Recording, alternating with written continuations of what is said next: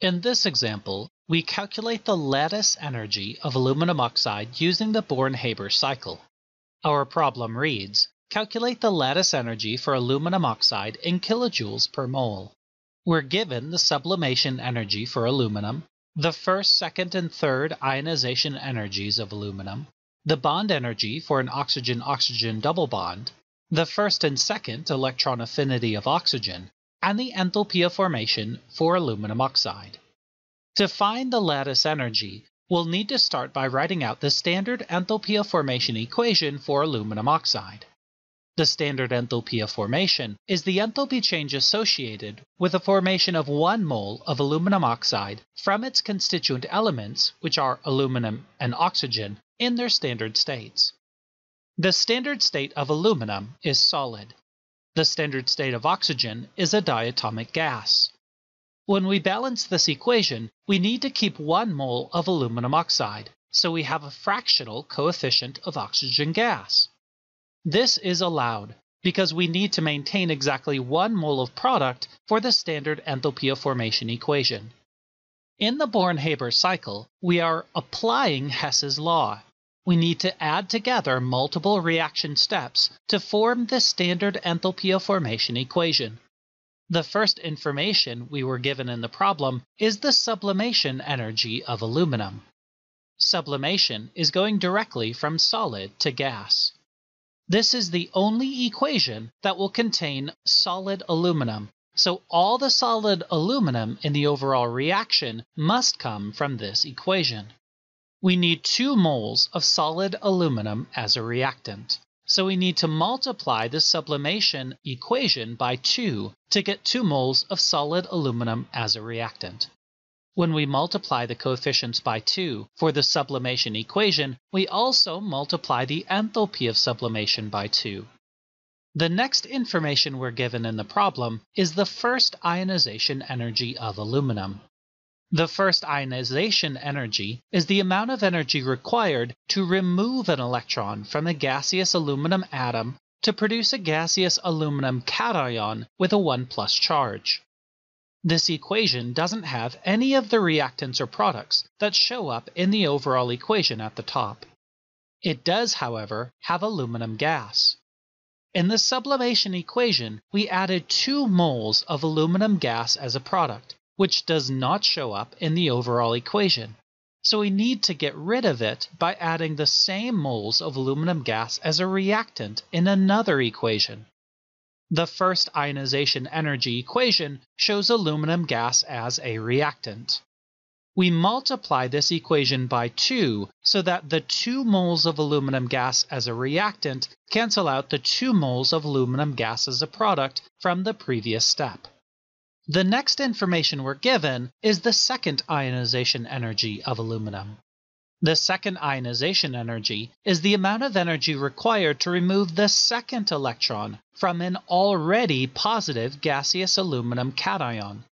We can use this equation to cancel out the 2 moles of Al1 plus we added as a product in the previous equation. To do this, we multiply the entire equation times 2, along with its enthalpy change. The next information we're given is the third ionization energy of aluminum, which is the energy required to remove the third electron from gaseous Al2+. To cancel out 2 moles of gaseous Al2 product from the previous step, we multiply this equation by 2 as well. The next information we're given in the problem is the bond energy for an oxygen-oxygen double bond. This is the amount of energy required to break the double bond and form two unbonded oxygen atoms. This will be the only equation that contains O2 gas. We want 3 halves O2 gas as a reactant in the overall reaction so we need to multiply the bond energy equation by 3 halves. The next information we're given in the problem is the first electron affinity of oxygen. This is the change in energy when we add an electron to a gaseous oxygen atom to produce O1 gas.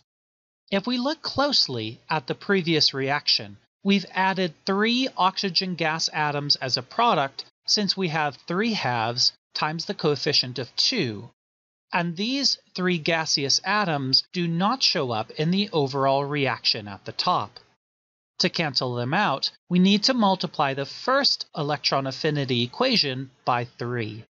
The next information we're given is the second electron affinity, which is the energy change associated with adding an electron to an already negative gaseous oxygen anion. We can multiply this equation by 3 to cancel out the three gaseous oxygen anions added as a product in the previous step. If we look closely, we'll see that in the ionization energy equations, we add a total of 6 electrons as products, and now we've added a total of 6 electrons as reactants in the electron affinity equations. These 6 electrons now cancel each other out. Our last step is to bring the gaseous cations and anions together to produce solid aluminum oxide in its crystal lattice. The enthalpy change associated with this step is the lattice energy, which is what we're solving for. This step cancels out the Al3 plus cations and the O2 minus anions that were added as products in the previous steps, and gives us 1 mole of aluminum oxide from our overall equation. If we look closely, everything has canceled out except for what is in our overall reaction at the top. Adding together all of these reaction steps, we get the standard enthalpy of formation equation for aluminum oxide, which has an enthalpy change of negative 1677 kilojoules. Since we can add all of these steps together to get the overall reaction, according to Hess's law, if we add together the enthalpy changes for all of the reaction steps, we will get the enthalpy change for the overall reaction.